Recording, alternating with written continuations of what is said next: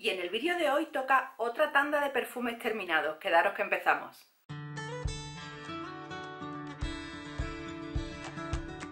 Hola a todas y a todos, bienvenidos un día más al Tocador de Martina, yo soy Lidia. Bienvenidos a este vídeo en el que vamos a hablar de perfumes acabados. No sé exactamente cuántos vídeos de perfumes acabados llevamos ya en el canal, eso lo estaréis viendo en el título seguramente.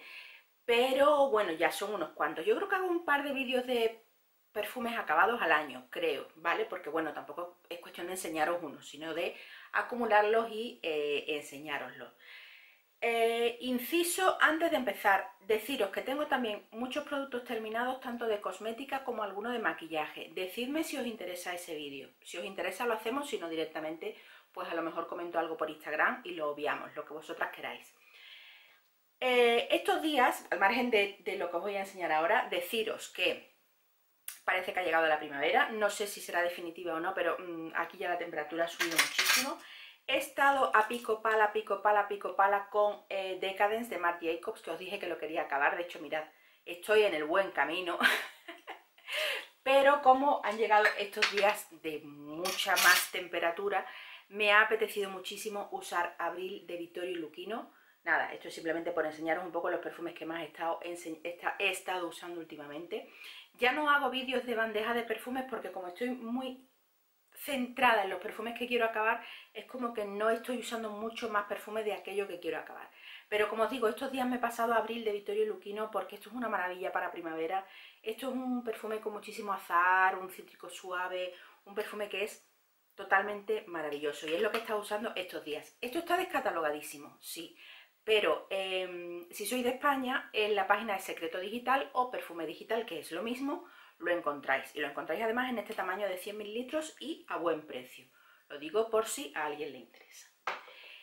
Y ya el último inciso antes de empezar es deciros que llevo el labial eh, de nombre impronunciable Relentlessly Red de MAC, que es este, simplemente porque a veces algunas me preguntáis, oye, eh, qué bonito, qué labial llevas, y si me lo preguntáis a lo mejor porque estáis viendo el vídeo, pero han pasado ya unas cuantas semanas, lógico, cada uno ve los vídeos cuando le apetece, pues a lo mejor yo ya no me acuerdo del labial que llevo, ¿vale? Este, bueno, pues igual, hoy que es un día mucho más primaveral, pues he apostado por algo más de color. Y ahora ya sin daros más la turra, empezamos. Mirad, voy a empezar por el único perfume que no he gastado yo. Es el perfume, un perfume que ha gastado eh, mi pareja y es, por tanto, lógicamente un perfume masculino. Es Body Couros o de Toilette de Yves Saint Laurent. Mirad, este es uno de sus eh, perfumes favoritos. Lo ha usado ya varias veces a lo largo de los años. Eh, pero yo tengo que decir que a mí este perfume no me gusta. me gusta nada. No es que me sea insoportable, evidentemente, lo lleva, bueno, pues lo lleva, pero no es un perfume que a mí me guste. Em, Body Couros es un flanker, evidentemente, de Couros, de Yves Saint Laurent. Es un perfume de culto, es un perfume que gusta mucho. Y yo creo que es de esas veces que el flanker se hace incluso más famoso que el original. Creo que hay mucha más gente que conoce y usa Body Couros que Couros. Eh, este perfume le pasa una cosa. Tiene eh, una mezcla en sus notas de incienso y eucalipto. Y para mí esa mezcla en mi olfato o en mi gusto personal no funciona. Porque a mí esto me huele como un poco a, alcanfor. Que muchas me estaréis diciendo loca ahora mismo, porque ya digo que esto es perfume de culto que gusta muchísimo. Sin embargo, a mí me da como un punto alcanfor esa mezcla entre incienso y eucalipto. Es rara, raruna, y en mi olfato, o como digo, en mi gusto personal, no funciona. Pero bueno, ya digo, sí que es cierto que es un perfume de culto y creo que está reformulado, o por lo menos la última vez que vi la botella no era exactamente así. Pero bueno, como él también tiene bastantes más perfumes aparte de este, eh, creo que no lo va a reponer de manera inmediata, así que yo contenta. Vamos ya con lo que he gastado yo. Eh, en primer lugar tengo que hablaros de Eau de Rochas y con este perfume tengo yo una duda, es que yo juraría que ya os había hablado en un vídeo anterior de perfumes terminados de él. No sé si es que no estaba del todo terminado y estaba ahí ahí, pero me lo he encontrado donde yo guardo los perfumes terminados para hablaros de ellos. Así que bueno, pues nada, unas breves anotaciones de, de de Rochas, perfume de los años 70, creo que incluso del año 70, conocidísimo. un perfume ya muy vintage, un perfume que antes, cuando yo era jovencita, yo era adolescente, se asociaba mucho con gente muy joven, había mucha gente muy joven que lo usaba. Sin embargo, ahora creo que esto no sería del gusto de la mayor parte de la gente joven. Oye, que si eres joven y lo quieres llevar, ole tú porque es un perfume fantástico, pero creo que no está dentro del gusto de lo que es perfume muy azucarado, perfume muy gourmand, perfume muy comestible, para nada. Es un cítrico muy verde, aromático, tiene tiene un aire tremendamente vintage, la verdad es que sí que lo tiene, es un perfume que a mí me parece muy energizante, que mm, a mí me gusta mucho, lo he disfrutado mucho, yo ya lo dije en su momento cuando lo compré, yo tenía muchos prejuicios hacia, este perfume por una tontería y es que lo usaba una persona que a mí me caía fatal y entonces como que siempre lo he asociado a esa persona, nunca lo he querido usar. Ya con más de 40 años dije, venga, déjate de tonterías y cómpratelo si te, si te gusta. Así que bueno, como digo, lo he disfrutado muchísimo. Me gustará comprarlo este verano. Esto sí va a ser una reposición segurísimo. Eh, y quiero comprarlo a ser posible en el típico set que viene con, con la crema corporal. Porque creo que disfrutar este perfume en verano junto con la crema corporal tiene que ser un auténtico lujo. Yo cuando lo compré venía en un set, pero en el set lo que venía era una toalla de playa. Oye, que sí que le da mucho uso y está muy bien, pero prefiero eh, buscar el set que venga con, con la crema corporal. Bueno, pues sin más, o de Rochas, de la casa Rochas. Esto que voy a enseñar ahora no es exactamente un perfume o uno de toilette, pero yo sí lo uso como tal. Es el, es el Hair and Body Mist de Rituals de The Ritual of Ayurveda. Eh, como digo, un mist corporal, un mist para el pelo y un mist que también se usa mucho como spray en los tejidos, para las sábanas, para cortinas y demás, para aromatizar pero yo lo uso como eau de toilette. Tiene 50 mililitros y mm, ya está totalmente acabado. Es un producto que me gusta mucho, sale por unos 19-20 euros. Merece mucho la pena comprarlo. De las gamas de Rituals, la roja es la que a mí más me gusta. En este caso es la mm, de Ritual of Ayurveda, como he dicho, y es eh, Indian Rose and Sweet Almond Oil, es decir, eh, rosa de la India y aceite de almendras dulces. Es una rosa mm, bastante yo diría que mentolada, y es un aroma muy especial. Es un aroma que te envuelve, es un aroma que te, que te transmite cierta, cierta paz, cierta serenidad. Yo creo que todos los aromas de rituals están muy asociados con todo el tema de aromaterapia y demás, y eso se nota. Y, y, a mí me encanta usarlo, sinceramente es un producto que me gusta mucho usar en casa eh, es verdad que no lo suelo llevar a la calle, no, me suelo perfumar con él para ir a la calle, pero cuando mm, es el típico perfume de después de la ducha, ¿vale? Así es como más lo uso. Me encanta dormir con esta fragancia y bueno, pues tanta caña le he dado que evidentemente mm, lo he gastado. Además no, no os creáis que tiene mucho tiempo, no lo compré hace demasiados meses y ya pues se ha acabado. Eh, ¿Lo repetiré? Sí, seguro que sí. De manera inmediata, tal vez no, porque mm, no es, aunque me gusta muchísimo, eh, de cara a la primavera, por ejemplo, me gusta mucho más el de la línea blanca, el de flor de cerezo. Entonces, si acaso a lo mejor me hago con ese, ¿vale? Y este lo dejo un poco más de cara al otoño. Pero me gusta mucho y es muy recomendado, lo podéis encontrar en cualquier tienda Rituals, lo podéis encontrar en Notino, donde yo lo compré, en Primor, en... bueno, Rituals ya lo venden en un montón de sitios, así que no tenéis problema para encontrarlo. Vamos a cambiar totalmente de tercio con respecto a los perfumes que os he enseñado y os voy a enseñar un perfume diametralmente diferente y a su vez una obra de arte de la perfumería. Se trata de Carolina Herrera, el original, con el nombre tal cual, Carolina Herrera. Esto es un de parfum. Y esto es una bestia del mundo de la perfumería. Esto es el perfume de nardos más intenso y más animálico que yo he podido probar si os gusta el nardo, si os gusta el jazmín, tenéis que conocer Carolina Herrera. No podéis vivir sin conocer Carolina Herrera, el original. Y además es un perfume que creo que si está reformulado no lo han cambiado mucho con respecto al original que yo recuerdo. Eh, cuidadito con él, es un perfume con el que hay que tener mucho cuidado al dosificar, mucho cuidado al atomizar, porque es un floral blanco de los que son muy intensos, de los que se te pueden subir a la cabeza y darte dolor de cabeza. Si tenéis cuidado con eso, ningún problema. Es un perfume que dura horas y horas y horas. A mí me parece totalmente maravilloso. y es un perfume eh, muy animálico también, ¿vale? Tiene ese trasfondo totalmente animálico, tiene civeta y se nota, se nota, es un... Por eso digo que es una bestia, es un perfume blanco brutal y es una bestia de la perfumería. Tiene también un trasfondo verde, tiene una presencia importante del ylang yo creo que tiene también madreselva, no, no, ya no lo digo porque lo estoy diciendo así un poco de cabeza, yo creo que tiene madreselva, pero bueno, pensad en un protagonismo absoluto del nardo, de distintos tipos de jazmín, un poquito de ylang ylang también sobresaliendo en esas notas y un fondo muy animálico.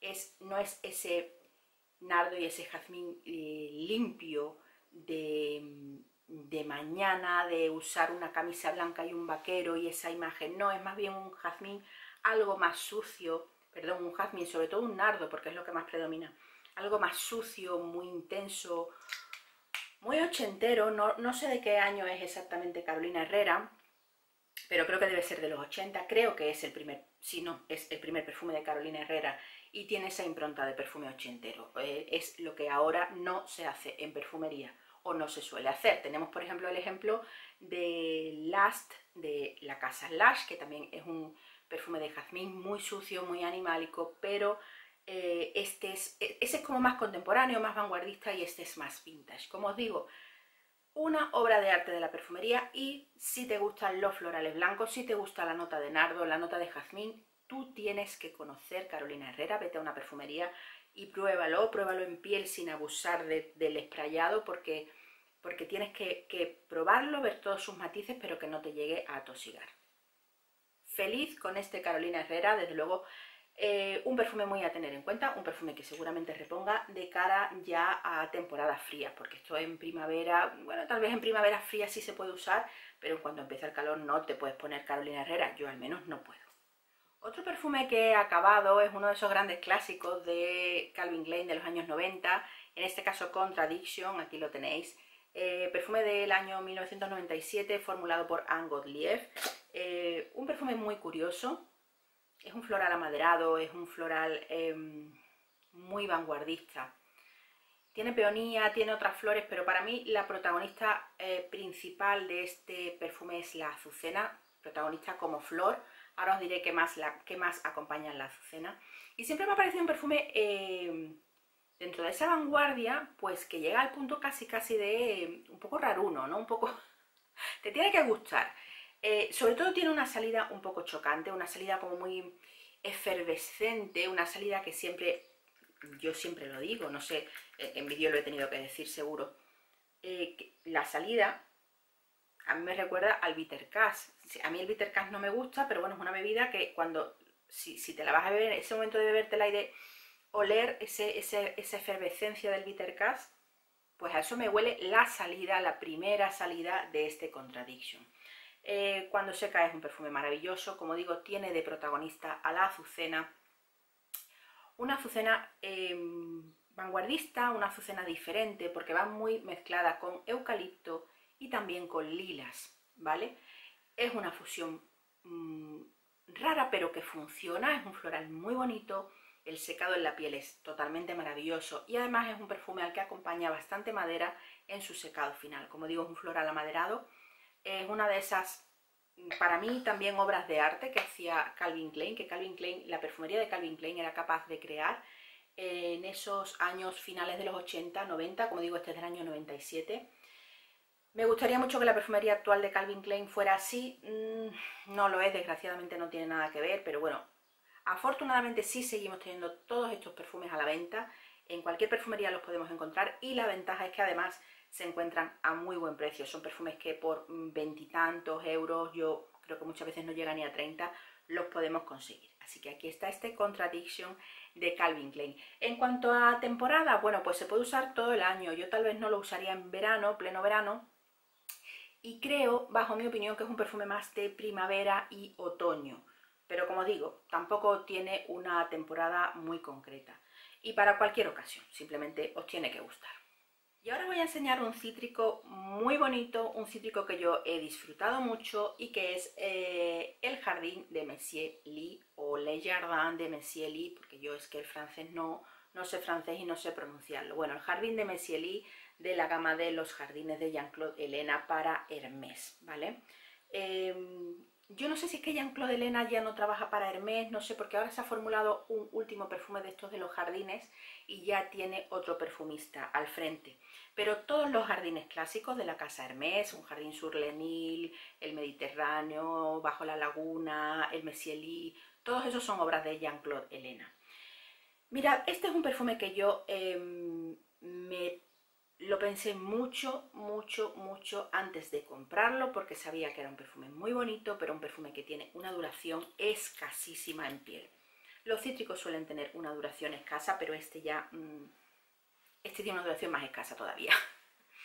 Me lo pensé porque lógicamente es un perfume de Hermès, no es un perfume barato, pero al final lo compré. Eh, lo he disfrutado mucho, eh, lo he estado así como dosificando para no abusar de él. Es un perfume perfectísimo para verano, perfectísimo. Tiene unas notas de naranja enana, eh, jazmín, menta y savia verde. No es muy apreciable el jazmín en esta composición, eso sí tengo que decirlo. Es un, eh, no un floral, perdón, un cítrico, como os digo, delicado, porque bueno, naranja enana no tiene presencia de limón, ni de lima, ni de nada por el estilo, con lo cual es un es un cítrico muy delicado, muy llevable. Si queréis empezar con el mundo de los cítricos, esta fragancia Le Jardin de Messieli es perfecta para eso. Em, ¿Qué ocurre? Como os digo, hay que pensárselo porque es un perfume que tiene una duración y una intensidad bajitas. Y yo lo tenía ahí como oro en paño, como oro en paño, para no gastarlo, para disfrutarlo poquito a poco y tal. Y en estas que viene Vanessa, del canal Siki Vanesiki, y nos dice que hay un clon de este perfume eh, además un clon muy, muy, muy barato, que es eh, Côte d'Azur de Pertegaz, que lo tenéis aquí, que es un perfume que se vende en muchos sitios, pero donde más barato lo podéis encontrar es en supermercados Prima Prix. Si en vuestra ciudad hay algún Prima Prix, este perfume que tiene ni más ni menos que 150 mililitros sale por 7,50 euros. Eh, yo cuando fui a comprarlo hay tres perfumes de, perdón, tres perfumes de eh, uno era amarillo, el otro creo que era naranja o verde y este es el azul. Este es el que se parece mucho al Le Jardin de Messieli. Em, me vais a preguntar, ¿y tiene más duración? No. También es una fragancia muy sutil, muy etérea y con poca duración. Pero claro, si esto vale 7,50 euros los 50 mililitros, eh, perdón, los 150 mililitros y estos 50 mililitros pueden costar, pues no sé, pero a lo mejor 70 euros, 60, 70 euros fácil, pues a ver, la diferencia es muy considerable. De hecho, sí creo que yo, mm, este jardín de Messieli, conociendo ahora este Côte d'Azur de Pertegaz, este yo no lo voy a volver a repetir.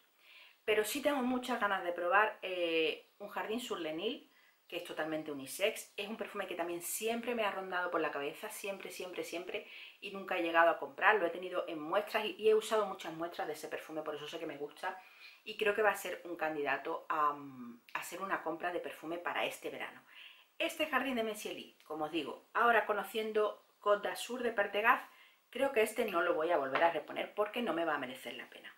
Como ocurre eh, con los perfumes que son muy económicos, eh, lógicamente me vais a decir, es igual, igual, igual, es muy parecido. Tal vez le falta algún matiz, mm, pero tampoco este es un perfume de grandes matices y grandes desarrollos olfativos. Entonces, este está muy bien. Como os digo, lo podéis encontrar eh, en el corte inglés, eh, pero en el corte inglés es más caro. Lo podéis encontrar en muchos sitios. Pero donde está mejor de precio es en supermercados Prima Prix y además, aunque la botella es muy simple, viene en una caja que es muy bonita y está muy bien. Yo la tiré pero, pero está muy bien incluso para hacer algún regalito y tal, muy a tener en cuenta. Además, evidentemente, cuando compras un perfume que vale 7,50 euros, 150 mililitros, yo esto lo uso a discreción. Yo esto, por ejemplo, es el perfume que estoy usando ahora para cuando salgo de la ducha, porque ya este lo he terminado, y lo uso, bueno, a discreción. Yo me rocío de arriba abajo sin ningún tipo de, de miramiento, porque esto es muy económico y se puede usar, pues eso, en grandes cantidades si es lo que te apetece.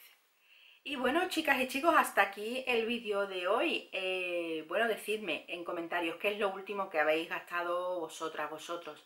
Eh, qué estáis gastando, qué tenéis ahí, ahí a punto de caramelo. Que yo creo que, que da, a mí personalmente me da gusto gastar los perfumes, ¿no? Porque te gusta comprarlos, te gusta tenerlos, pero a mí también me gusta acabarlos, ¿no? Es señal de que se han disfrutado, de que se han usado, de que se ha amortizado lo que te costaron y además de que ese perfume ha vivido como una pequeña historia con nosotros. A mí, yo soy de esas personas que me gusta pasar página, me gusta terminar cosas y continuar con otras.